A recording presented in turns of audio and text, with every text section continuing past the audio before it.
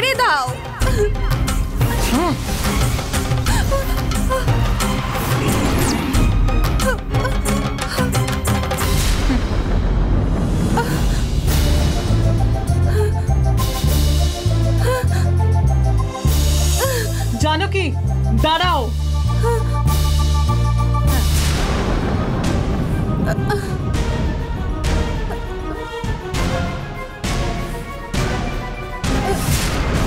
বন্ধন করেছিল সেই তোমাকে বন্ধন মুক্ত করল এটা একটু অবাক করছে না?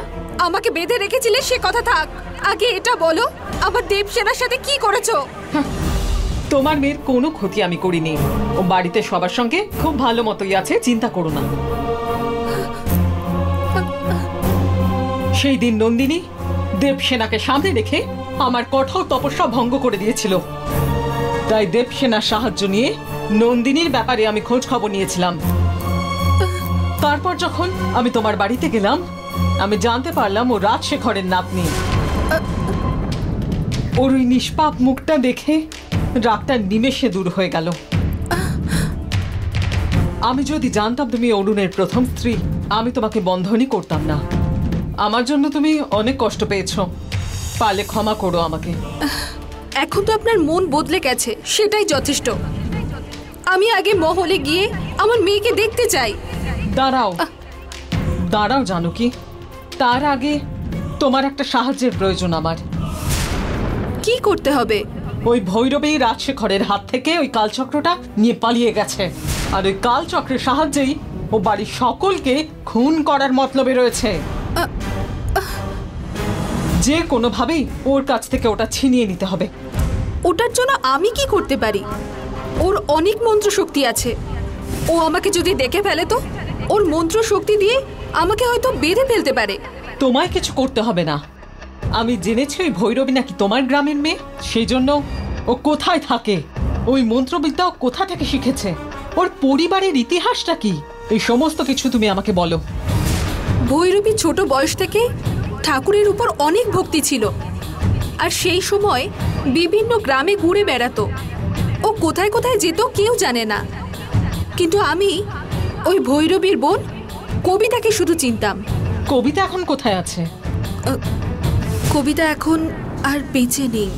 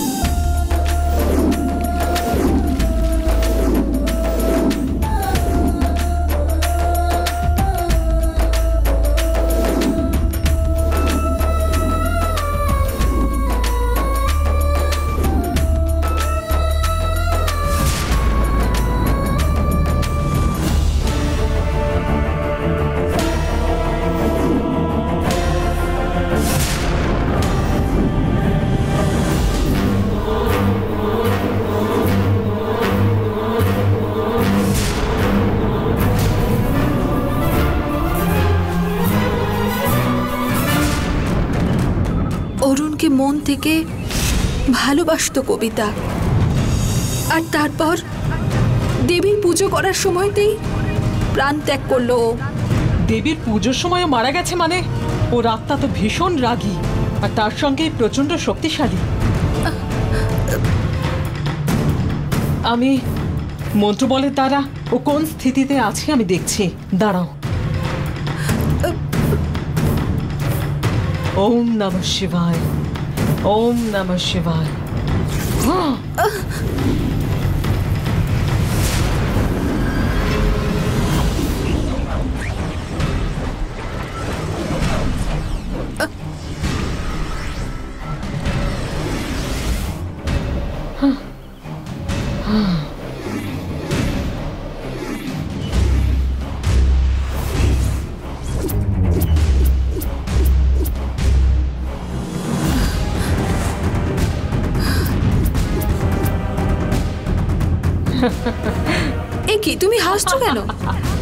আমি দেখতে পেয়েছি কবিতার আত্মা প্রচণ্ড রেগে ঘুরে বেড়াচ্ছে।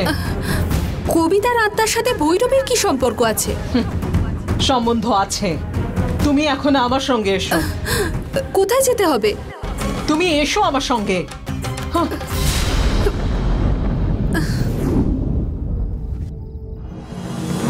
আহ, শোনো আমার বাবা তো ওই বাড়িতেই খেত তাই রান্নার কোনো জিনিস নেই। তুমি দোকানে গিয়ে কিছু জিনিস নিয়ে এসো আমি খাবার বানাচ্ছি। ঠিক আছে। গঙ্গা রান্না করাটা কালকে চিন্তা করিস। এখন তোদের দুজনের জন্য হোটেল থেকে পার্সেল এনেছি। নে মা।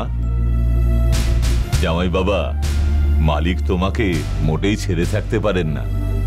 হ্যাঁ, খুব তাড়াতাড়ি মাধবীকে পাঠিয়ে তোমাকে ডাকবে। তুমি তাই কোনো চিন্তা না করে নিশ্চিন্তে থাকো। ঠিক আছে বাবা। ঠিক আছে রে। তোমরা খেয়ে নাও। আহ, তুমিও এসো না। আমাদের সাথে খাও।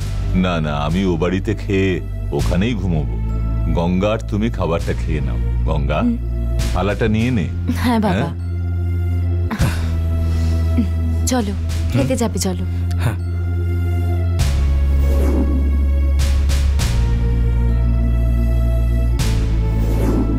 আহ, তুমি খাবে না? আম, হুম। হ্যাঁ খাচ্ছি। খাও।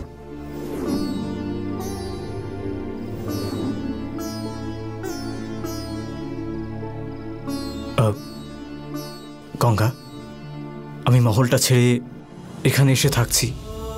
আর তোমাকেও সঙ্গে এনেছি। খুব কষ্ট দিচ্ছি তাই না? এতে কষ্টের কি আছে? তুমি যেখানে থাকবে আমি তো সেখানেই থাকব। আহ, আমার কাছে কিছু চাইতে ইচ্ছে করে না। মনে হয়। কি গো? আমার কাছে কিছু চাইতে ইচ্ছে করে না। মনে হয়। কি গো? যে কোনো পরিস্থিতিতে তোমার যেন কোনো অসুবিধা না হয়। তুমি যেন ভালো থাকো।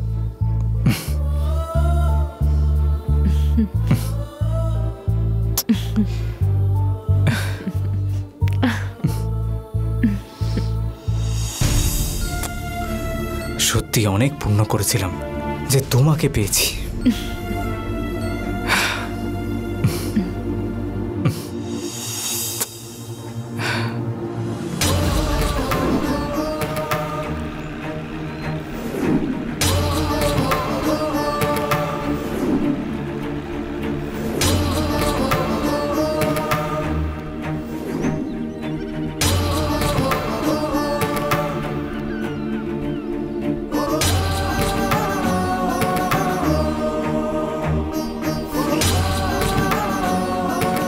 আমি তোমার এই গ্রামের মাটিতে পা রেখেছিলাম, সেটা আমার জন্য একটা পুণ্যের কারণ। তাই জন্যেই আমার হাতে এখন কালচক্রটা এসে গেছে। এটা আমি তোমার কাছে নিয়ে এসেছি তোমায় দেখানোর জন্য। দেখো, কালচক্র। তুমি জঙ্গলের দেবী হয়ে পার্বতীপুরের মাটিতে যে সৃষ্টি তুমি করেছিলে, সেই ময়ূর অংশের কাল চক্র এখন তোমার এই গ্রামের মাটিতে। এতদিন ধরে এই সংসারে অনেক মন্দিরে ঘুরে বেরিয়েছি আমি, কিন্তু তোমাকে আমি সেই খুঁজে পেলাম এই গ্রামে এসে। এই গ্রামকে পবিত্র স্থান হিসেবে পরিচিত করার জন্য এই কালচক্রটা আমি এখানেই রেখে দিচ্ছি।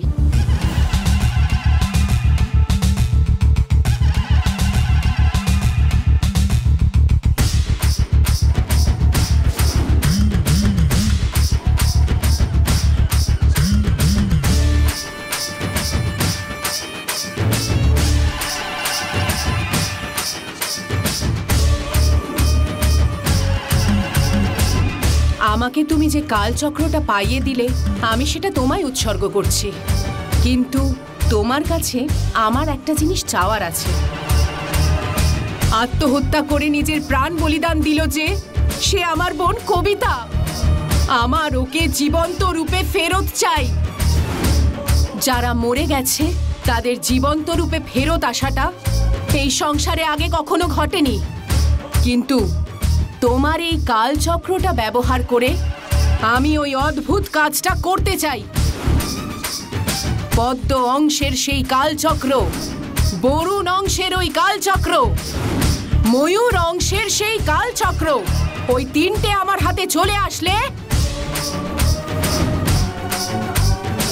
ওগুলো দিয়ে আমি আমার বোন কবিতাকে জীবন্ত করে আনতে চাই। তুমি যদি মনে করো যে নন্দিনী জঙ্গলের দেবীর কাছে যে কালচক্রটা রেখেছে, রাজশেখরের কাছে যে পদ্ম অংশের কালচক্রটা আছে, সেটা তুমি আমার কাছে পৌঁছে দিতেই পারো। আর বাকি দুটো কালচক্র আমার হাতে আসবে বলে তোমার ওপর সম্পূর্ণ ভরসা করে আমি এখানে এই কালচক্রটা তোমার পায়ে রেখে যাচ্ছি। আমার সাথে থেকে আমার বোন কবিতাকে জীবন্ত করে তুলতে আমাকে সাহায্য করো।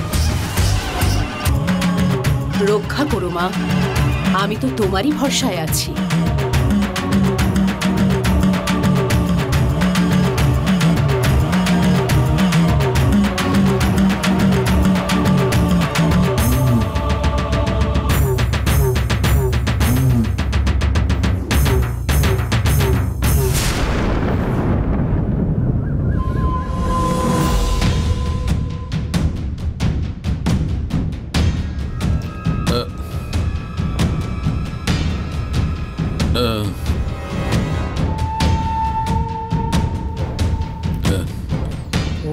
রাজশেখরের সামনে দাঁড়িয়ে আছে কেন?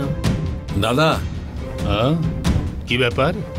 সন্ধ্যার বাবা মা আমাদের সঙ্গে ঝগড়া করে সন্ধ্যাকে নিয়ে চলে গেল। হ্যাঁ কি হয়েছে ধর্মা?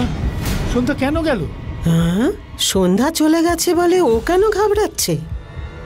আসলে সেদিন ওই খাবার টেবিলে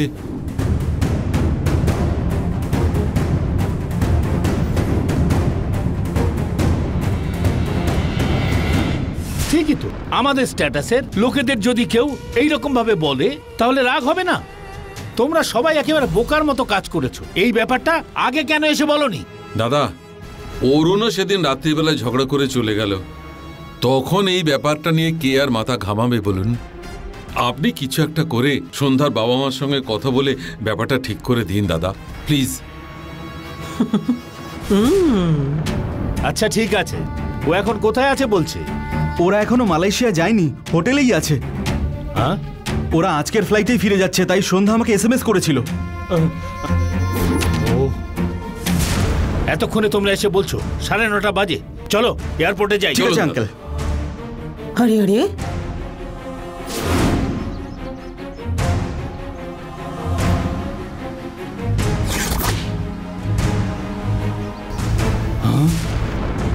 ওরা যেতে যেতে দাঁড়িয়ে পড়ল কেন?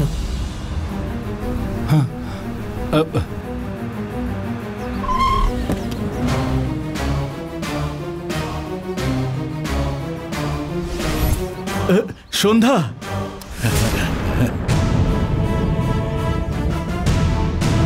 আরে ও তো আসবে না বলে চলে গেছিল আবার ফিরে এসেছে।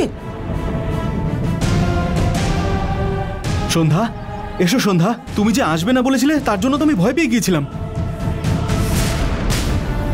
কি হলো মা? বাবা মা এলো না? না ওরা ভীষণ রেগে আছে। ও। ওদের সাথে ঝগড়া করে আমাকে এখানে আসতে হয়েছে। কয়েকটা দিন যাক আমি ওদের সাথে কথা বলে ঠিক বুঝিয়ে নিয়ে আসব এখানে। ঠিক আছে মা। তুমি যে আমাদের সম্মানটা রেখেছো সেটাই আমাদের কাছে যথেষ্ট। আহ, কিরণ? হ্যাঁ আঙ্কেল। যাও সন্ধ্যাকে ভেতরে নিয়ে যাও। হ্যাঁ হ্যাঁ হ্যাঁ। এসো সন্ধ্যা। এসো। বাবা সন্ধ্যার মা বাবা রাগ করে আছে। বাবা মা রাগ করে আছে নাকি সন্ধ্যা? সেই দিন যা ঝামেলা হয়েছে রাগ না করে উপায় আছে আর? এত যে ঝামেলা হবে আমি ভাবতেই পারিনি।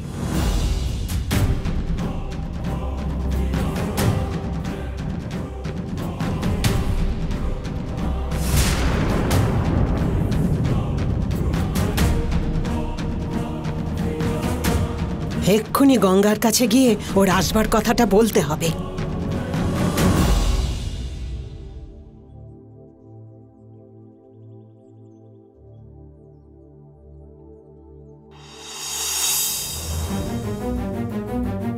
গঙ্গা! পিসিমা? সন্ধ্যা আবার ফিরে এসেছে। হ্যাঁ? আমরা কত কষ্ট করে ওকে তাড়ালাম। সবকিছু একেবারে বেকার হয়ে গেল। এতে আমারও খারাপ লাগছে পিসিমা। চিন্তা করিস না আমি অন্য কোনো ব্যবস্থা করছি। ওকে বার করবই। এক্ষুনি কিছু করতে হবে না পিসিমা। সঠিক সুযোগ পেলে তারপর। হ্যাঁ সেটা তো ঠিক আছে। তুই অন্য কোনো কাজ করছিলি না? আমি পরে আসব। ঠিক আছে। কি হলো পিসিমা? আবার কি? ওই পায়ের ব্যথা। কালকে ব্যথার তেলটা লাগাননি? তুই থাকলে দিতিস। তুই এখানে চলে এসেছিস আমাকে আর কে দেখবে? তাহলে পদ্মাকে বলি তেলটা লাগিয়ে দিতে? পদ্মকে বলতে হবে না। অম্বিকা বলে আমার একজন চেনা আছে। আমি ওকে ফোন করে আসতে বলে দিচ্ছি। ঠিক আছে এক্ষুনি ফোন করে আসতে বলুন। হ্যাঁ।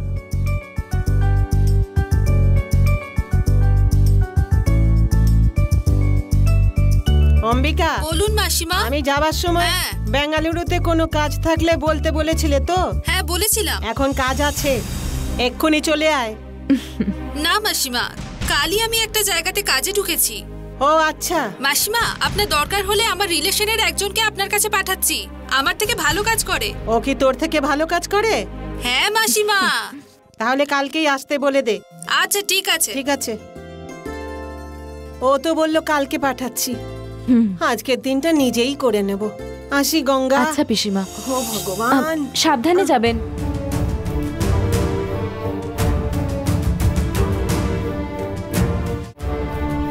ওই ভৈরবী আমাদের সবাইকে বোকা বানিয়ে কালচক্রটা নিয়ে চলে গেল রে। আমি মাধবীর ওই মন্ত্র জাল ছিন্ন করে এসেছি। জয় আমাদেরই হবে। হারতে হবে ওই মাধবী আর রাজশেখরকে। মাধবী আর ভৈরবী, দুজনে আলাদা হয়ে আমাদের ভালোই হয়েছে। মাধবী নিশ্চয়ই ভৈরবীকে ধরার চেষ্টা করবে, আর তার জন্য অনেক তন্ত্রমন্ত্রও করবে। আর এমনিতে ভৈরবীরই লোভ বেশি। একটা কালচক্র পেয়ে ও কিছুতেই থেমে থাকবে না। ভৈরবী বাকি দুটো কালচক্রও নেওয়ার চেষ্টা করবে। ও আসার জন্য ভৈরবী আর মাধবীর মধ্যে ঝগড়া হবে। আর সেটা ওই বাড়িতেই হবে মনে হচ্ছে। তার আগে আমি গঙ্গার সাথে দেখা করব, ওদের ব্যাপারে বলব। তারপর গঙ্গার রূপ ধরে ওই বাড়িতে আমি যাব। তাই কর্মা তারপরে গায়ত্রী কি করছে তাই তো জানি না। ওর তো কোনো খবরই পাচ্ছি না। ও একদিন আমাকে ফোন করে ওর না জানা বিষয়ে আমাকে একটা প্রশ্ন করেছিল। আমার মনে হচ্ছে রাজশেখর সত্যিটা বলে দিয়ে গায়ত্রীকে কিছু একটা বুঝিয়ে ওর মন মাথা একেবারেই বদলে দিয়েছে।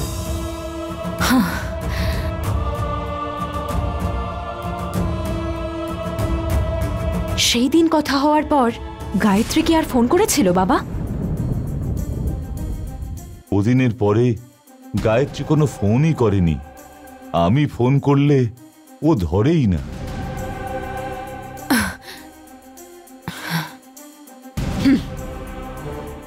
তার মানে ওই বাড়িতে কিছু একটা হয়েছে। সেই জন্যই গায়ত্রী আমাদের কোনো খবর দিতে পারেনি। সমস্যাটা বড় হওয়ার আগে আমি গঙ্গার সাথে কথা বলব, গায়ত্রীর সাথেও দেখা করব। কি হয়েছে সেটা আমাকে জানতে হবে, বাবা। সাবধানে, মা। সাবধানে ঘুরে আয়।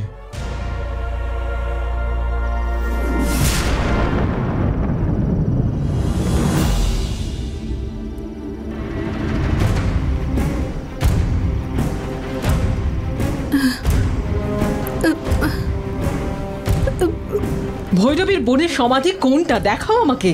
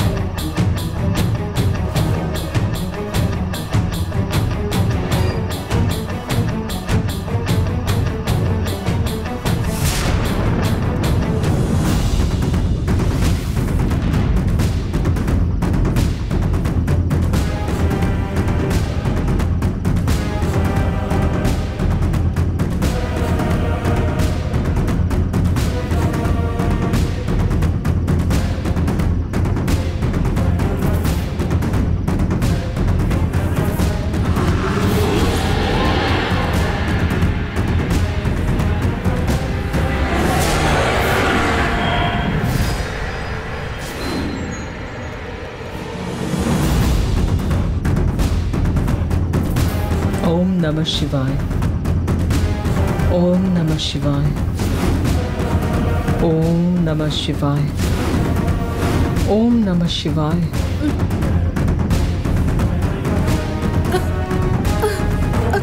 ओम नमः शिवाय ओम नमः शिवाय ओम नमः शिवाय ओम नमः शिवाय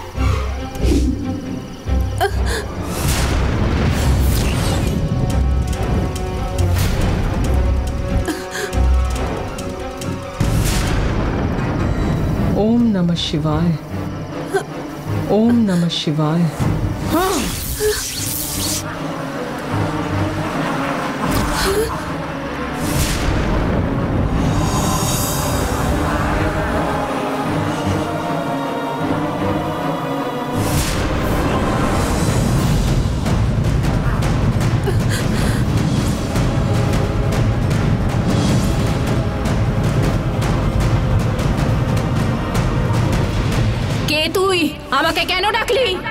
আমাকে নাই চিনতে পারো। কিন্তু জানকীকে নিশ্চয়ই তুমি চেনো তাই না? জানো কি? তুই! বিশ্বাসঘাতক? তুই কেন আমাকে দেখতে এসেছিস? তুই আমাকে ভুল বুঝেছিস। চুপ থাক! তোর জন্য আমি আত্মহত্যা করতে বাধ্য হলাম। তুই আমাকে কেন দেখতে এলি? তুই এখান থেকে চলে যা। তুই তাড়াহুড়ো করলি কবিতা। যা হয়েছে তাতে আমার কোনো দোষ নেই। অরুণের সাথে আমি ভালো করে জীবনও কাটাতে পারিনি। তোর কারণগুলো আমি শুনতে চাই না। তুই আমার সাথে বিশ্বাসঘাতকতা করেছিস। আমাকে বিরক্ত না করে চলে যা। না হলে ভালো হবে না। তোমাকে বিরক্ত করতে আমরা এখানে আসিনি। তোমাকে সামনে রেখে তোমার দিদি ভৈরবীকে আমরা এখানে আসতে বাধ্য করব। ঠিক সেই জন্য তুমি আমার বসে থাকবে।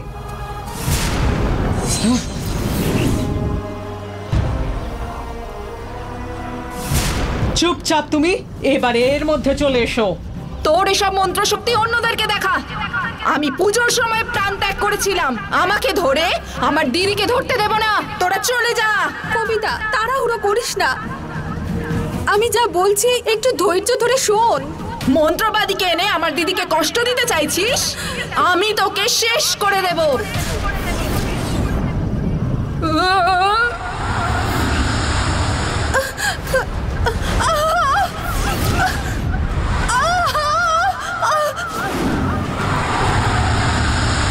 কবিতা, না, আমাকে ছেড়ে দে, না। কবিতা। আমাকে ছেড়ে দে, কবিতা।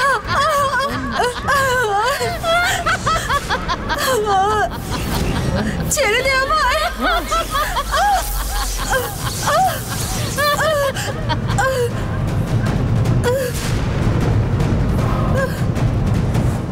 তুই এমনি কথায় শুনবি না, তাই না?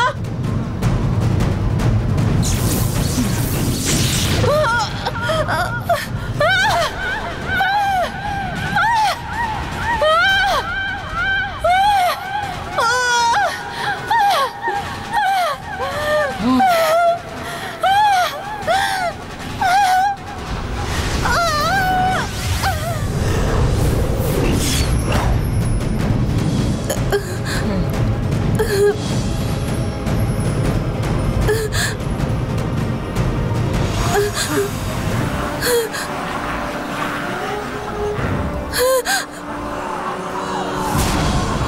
কবিতাকে নিয়ে যেতে এসেছিলাম আমি।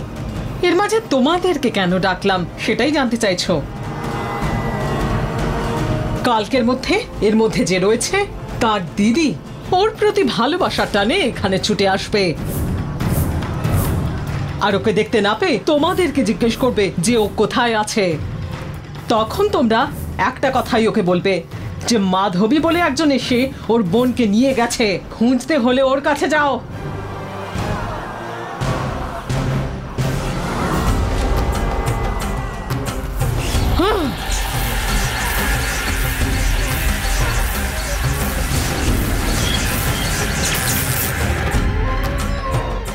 জানো কি চলে এসো।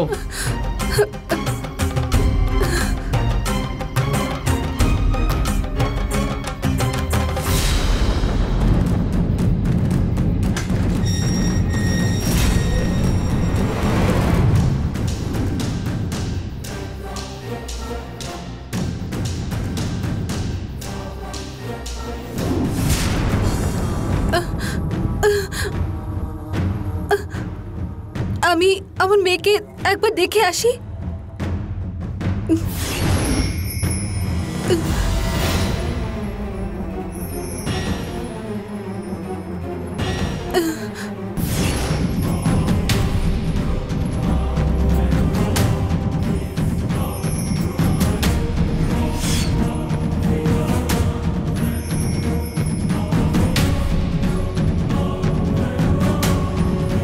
চিন্তা করো না একে আমি সামলে নেব। তুমি যাও তোমার মেয়েকে গিয়ে দেখো।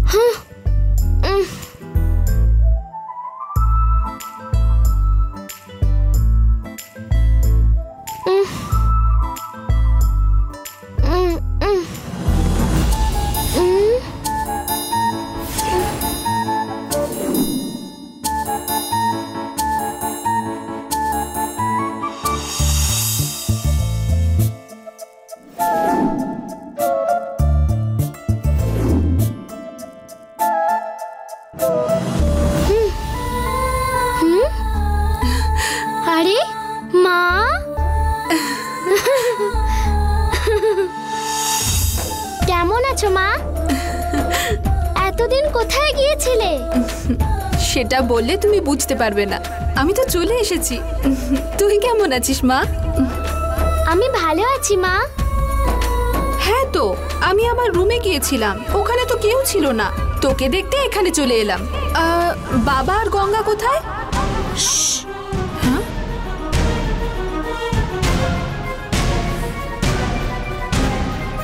আমার সাথে এসো।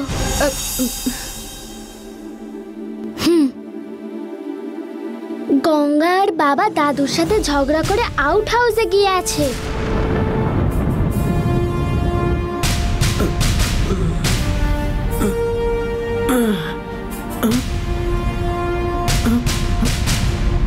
কোথায় গেল?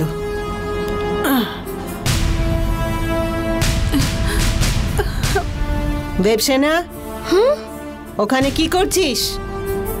উনি আমাকে সহ্য করতে পারে না। তুই বরং ওনাকে কিছু একটা বলে দে। আমি কিছু করছি না ঠাম্মা। আসলে আমার ঘুম আসছে না। তাই বাইরে যাব বলে উঠে এলাম। এই সময় আর বাইরে যেতে হবে না। এসো ঘুমিয়ে পড়ো। তুই কি ঘুমিয়ে পড়। আমি কি গঙ্গাকে দেখে আসি। হুম। আয় আয় আয়। শুয়ে পড়।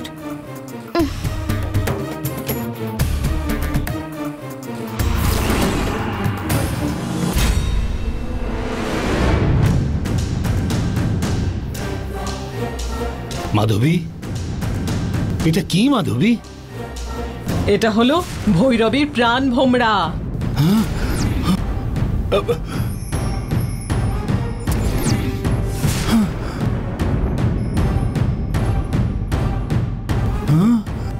ওই ভৈরবীর প্রাণের থেকে প্রিয় বনের আত্মা এটা।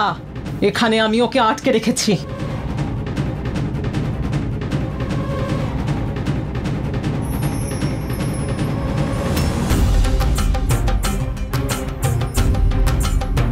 নিজের বোনকে খুঁজতে ভৈরবী এখানে নিশ্চয়ই আসবে। এই আত্মাটা ভৈরবীর বোনের? ওকে কোথায় পেলে? আমাকে খোঁজ দিয়েছে জানকীর আত্মা। ওই আমাকে সাহায্য করেছে ভৈরবীর বোনের আত্মা খুঁজে বের করতে। প্রত্যেক বছর এর মৃত্যুর দিনে ভৈরবী এর সঙ্গে দেখা করতে আসে। কালই সেই তিথি। ওর সঙ্গে দেখা করতে ভৈরবী নিশ্চয়ই আসবে।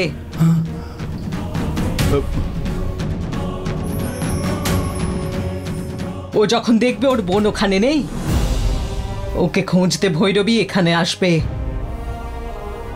আর এখানে ওকে যদি আমি পাই। এটা কি কোথায় রাখবে? এটা দেখে বেশ ভয় করছে মাধবী।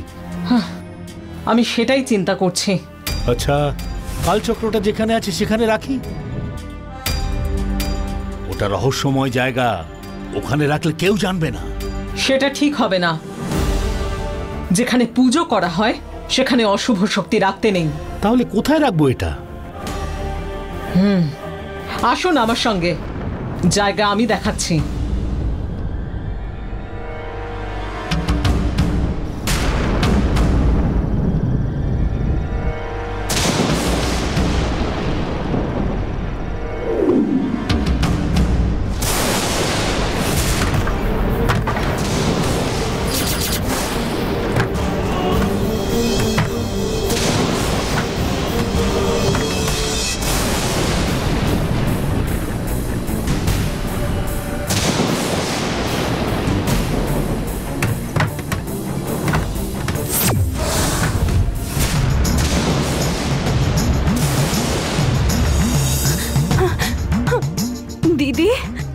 যে কোনোদিন তোকে আবার দেখতে পাবো, কল্পনাও করিনি।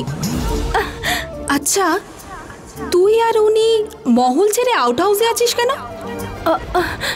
আসলে দিদি, আমরা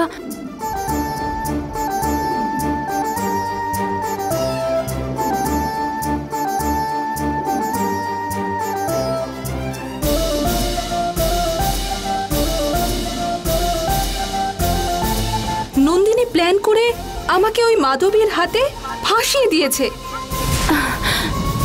মাধবী এতদিন আমাকে ওই জঙ্গলে বন্দি করে রেখেছিল। আজকে ও নিজে এসে আমাকে ছেড়ে দিল।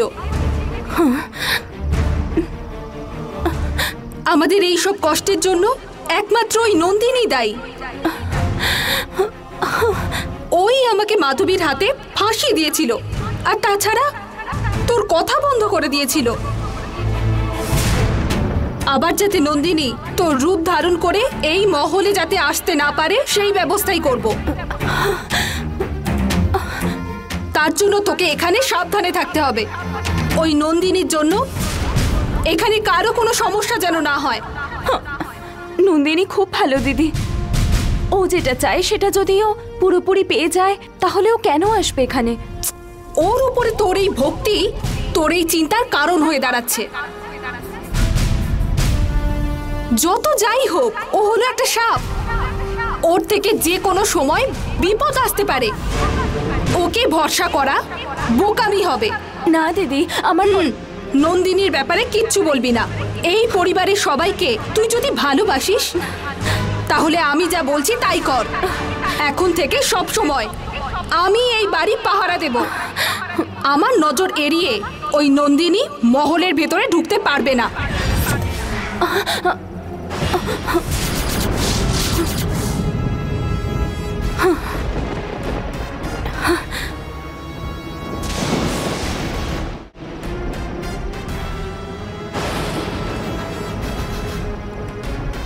কি হয়েছে গঙ্গা? এই সময় একা একা কার সাথে কথা বলছিস আহ, কিছু না গো। মাধবী যাতে তাড়াতাড়ি এই বাড়ি ছেড়ে চলে যায় সেটাই নাগমাতার কাছে চাইছিলাম। মাঝরাতে প্রার্থনা করা খুব জরুরি? চলো ঘুমোতে চলো। কি চিন্তা করছ? চলো।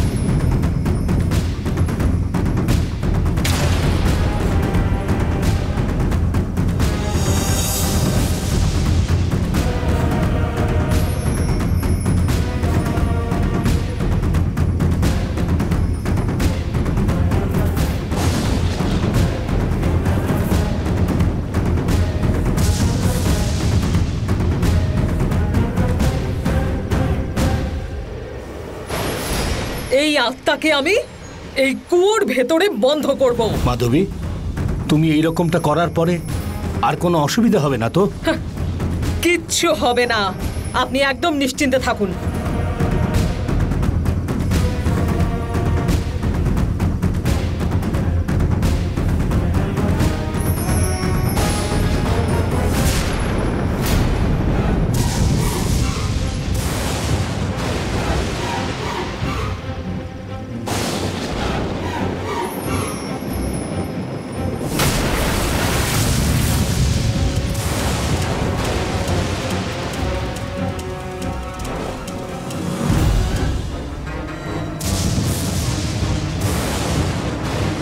এদের আর অন্য কোনো কাজ নেই।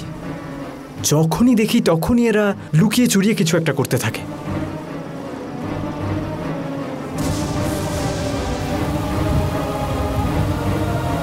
মাধবী বৃষ্টি হচ্ছে চলো চলো। কি হলো মাধবী দাঁড়িয়ে আছো কেন?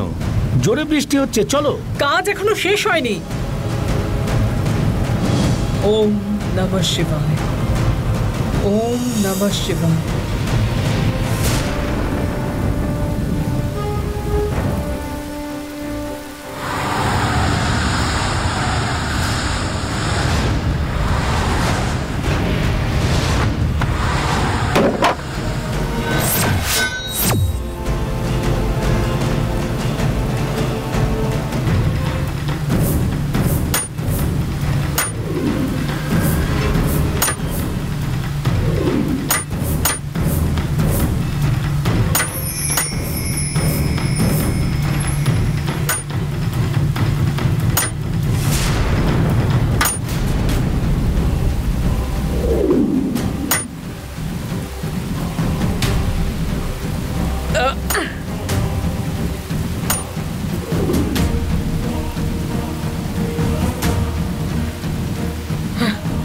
কাজ শেষ হলো। এই আত্মা এখন থেকে এখানেই আটকে থাকবে। চলুন যাওয়া যাক। হ্যাঁ, চলো চলো।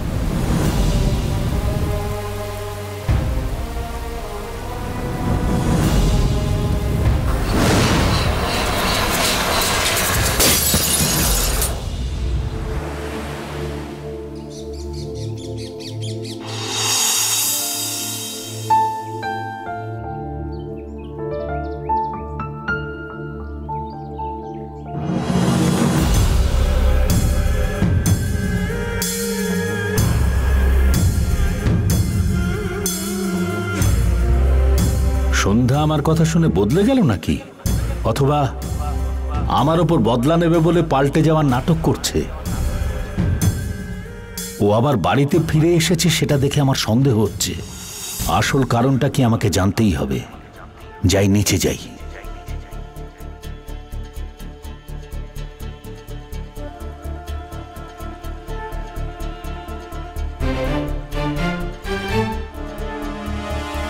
সন্ধ্যা তো ফিরে এসেছে। হ্যাঁ। মাঝখানে এত কিছু যে ঘটে গেছে বুঝতেই পারছি না। হ্যাঁ, আমিও তো বুঝতে অত পারছি না। করে সন্ধ্যা বেরিয়ে গেল আর অত সহজেই ও ফিরে আসবে? ওর মান সম্মান বলে কিছু আছে তো নাকি? কি ব্যাপার ধর্মা? দাদা? সন্ধ্যাকে তাহলে কিরণকে বিয়ে করবার জন্য রাজি হয়ে গেছে? যেই দিনটা ঠিক হয়েছে সেই দিনই বিয়েটা দিতে হবে। তুমি কি বলছো? দাদা সন্ধ্যার বাবা মা না থেকে বিয়েটা এই বিয়েটা একবার হয়ে গেলে ওদের পরিবারের সঙ্গে সম্পর্কগুলো হয়তো ঠিক হয়ে যাবে। সন্ধ্যা ওদের একমাত্র মেয়ে। সন্ধ্যার বিয়ে হচ্ছে শুনলে ওরা নিশ্চয়ই আসবে। তুই কি বলছিস কিরণ? হ্যাঁ তুমি ঠিকই বলেছ আঙ্কেল। তাহলে তো ঠিক হয়েই গেল। কিরণ তো রাজিই আছে। সব যেরকম ঠিক হয়েছিল বিয়ের ব্যবস্থাটা সেই রকম শুরু করে দাও। সন্ধ্যাকে তাড়াবো বলে ভাবলাম ওরা আবার ওর বিয়ের ব্যবস্থা করছে? এমনিতে সন্ধ্যার বাবা মা রাগ করে আছে। আর এই রকম ভাবে বিয়ে দিলে আমাদের সঙ্গে সন্ধ্যার সম্পর্ক নেই এই বলে সন্ধ্যার ভাগের সম্পত্তিটা দেবে না। কি হলো ধর্মা? কি চিন্তা করছ? সন্ধ্যা রাজি আছে কিনা সেটাই ভাবছ? হ্যাঁ দাদা। আচ্ছা ঠিক আছে। তাহলে একটা কাজ করো। ওকে একবার জিজ্ঞেস করে নাও। কিরণ? তুই যা সন্ধ্যাকে গিয়ে একবার ডেকে। ঠিক আছে আঙ্কেল। হ্যাঁ।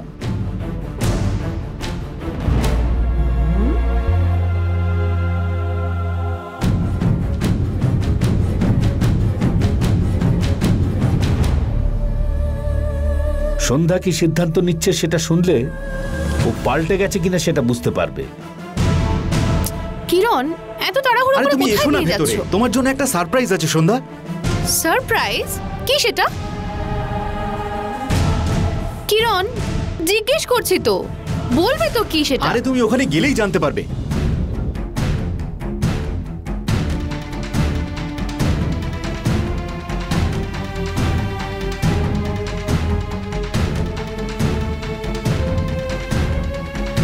হুম। এসো মা সন্ধ্যা। তোমার আর কিরণের যে বিয়ের দিনটা আমরা ঠিক করেছিলাম ভাবছি সেই দিনই তোমাদের বিয়েটা দিয়ে দেব। তুমি রাজি আছো তো?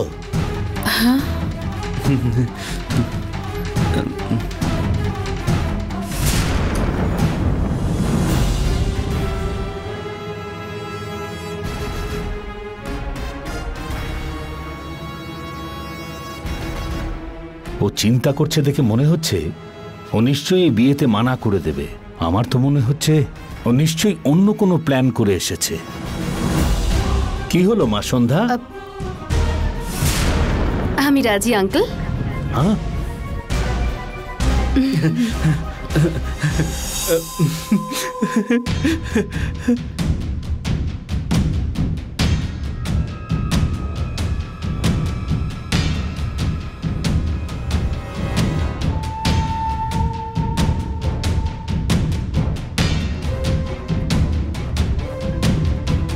এই দেখ রাজশেখর ওর বাবা মা যদি এই বিয়েতে রাজি না থাকে তাহলে ভুল করবি। তাড়াহুড়ো করার দরকার নেই।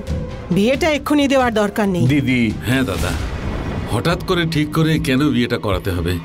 ওর বাবা মায়ের মত নিয়েই বিয়েটা দেব। হ্যাঁ দাদা। আমারও মনে হচ্ছে এটাই ঠিক হবে। ঠিক আছে ঠিক আছে।